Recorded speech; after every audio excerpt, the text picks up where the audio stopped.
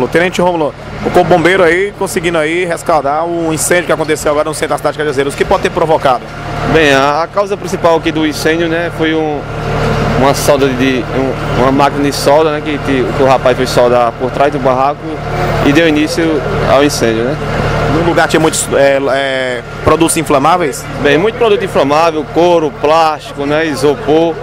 Com isso o fogo se alastrou rapidamente, mas a guarnição chegou de, chegou de forma rápida e conseguiu debelar as chamas, né? O que se nota aqui é a quantidade de barracos, um ao lado do outro. Se fosse no outro período, se não fosse no período comercial, a tragédia poderia ser maior. Bem, com certeza, né? Se, se demorasse mais um pouco, se fosse um horário noturno também, é, o fogo seria maior, as proporções maiores, né?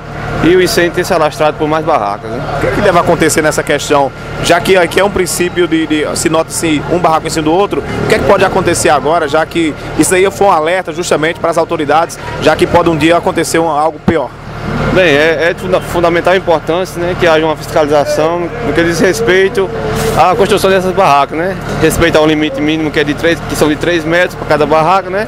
E também, a questão muito importante também é a questão das, das instalações elétricas, verificar as normas e, e tentar corrigir esse, esses erros a tempo, né? Com isso, nós também a questão da falta do extintor. É importante ter um extintor nesse momento? Com certeza, é, é lei, é obrigatório né, o extintor, pelo menos uma unidade em cada barraca, é, é de fundamental importância também, né?